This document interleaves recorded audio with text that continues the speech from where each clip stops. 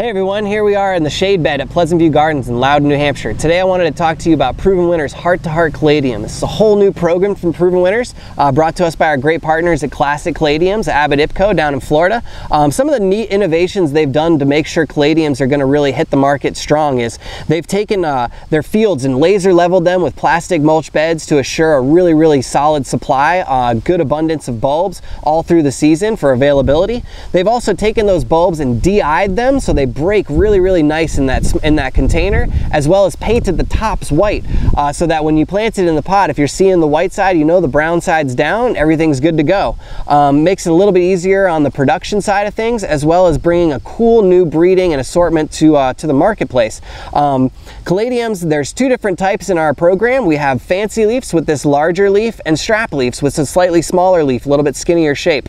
Uh, if you nerd out on botanical stuff like I do, um, you can see here the petiole attaches in a different spot on the, on the leaf. So with the strap leaves, it attaches right at the base. Uh, with the fancy leaves, it's gonna attach more in the middle. Traditionally, you'll get a bigger leaf with the fancy leaves, but, um, but the lines are a little blurred with that. Another thing that they would say is um, that the strap leaves tend to bring in a little bit more sun tolerance. Uh, personally, I think that uh, there's a lot of sun plants out there and that these are going to really show you a lot of color in the shade. Um, the fact that they're a foliage plant that you don't need to keep in flower all the time to get that color is another big plus for this program.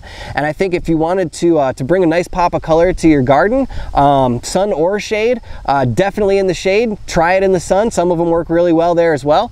So give this uh, heart-to-heart -heart Caladium program a try.